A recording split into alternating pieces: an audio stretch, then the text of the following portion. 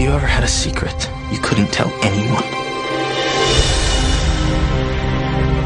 New Moon is a lot more complicated than Twilight was. This is the last time you'll ever see me. Bella is in such a deep depression when Edward leaves, and Jacob is the friend that will always be there for her. I know what he did to you. But Bella, I won't ever hurt you. I promise.